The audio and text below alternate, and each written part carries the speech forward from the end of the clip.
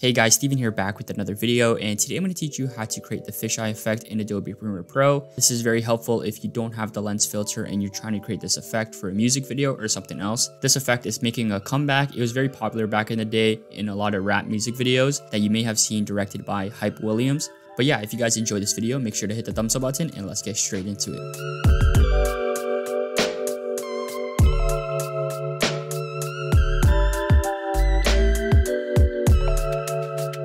So right here we got Harry Styles' last music video, you know, because, and we're basically gonna just apply the effect to this. So the first thing you wanna do is search up lens distortion. So you're gonna see a bunch of them, but you wanna scroll all the way down and it'll be under video effects, distort, lens distortion. Drag it onto the clip and you want to just adjust the curvature. You'll see what it does.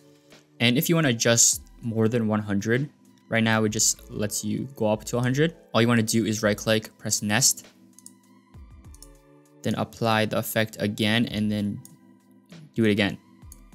Or else you wouldn't be able to curve it more in case you wanted to apply a greater effect. So let's just say we have this, right? Now we want to scale it in a little bit until there's no white background. And we're done the distortion part of it now. Unless you want to, of course, add more distortion. Right now, I'm just going to keep it the same. Now you want to go to opacity, press on the create ellipse mask, and you want to bring these points to the side to the edges and you want to sort of make sure that they're at the same position on each side. So I'm just going to bring it all the way to the edge.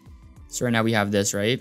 This is essentially what is the effect. I'm going to show you little different frames in the video. It doesn't look that distorted though, so you could probably um, add more distortion. And the last final thing you want to do is increase the mask feather. And the reason why is because if you actually had a real lens filter on, the edges would not be this exact, right? It would not be this straight.